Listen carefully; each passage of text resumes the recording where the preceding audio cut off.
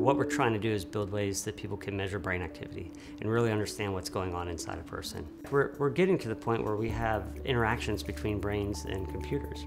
So we believe that we're going to be able to predict when you're frustrated, when you're um, unhappy, when your performance is degrading. Imagine if the lights were too bright and you got migraines and suddenly it could dim the lights for you, things like that. We tried to highlight that in our paper where we talk about it has educational benefits, it has medical benefits, um, we have training, and of course our own personal group, uh, we do performance, so we try to get you to work better in, in your work environment. I think our goal is not to envision what will happen, just envision that it could happen, and then get the technology out there for people to make it happen.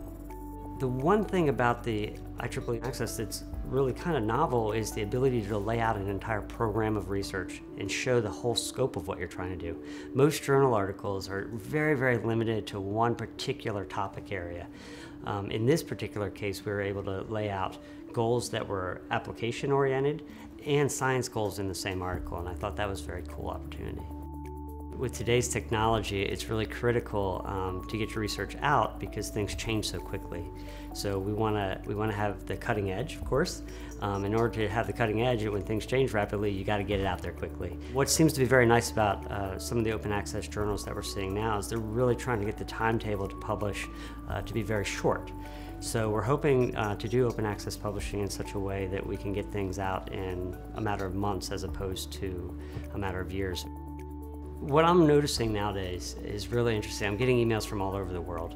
Uh, previously, I, I, tend to only get emails uh, from people that were in an academic institution. That's absolutely critical. If we don't have people having access, then we're not going to be understood in what we're doing, then we're not going to build collaborations, we're not going to make better products. We really want to make what we're doing accessible to everyone.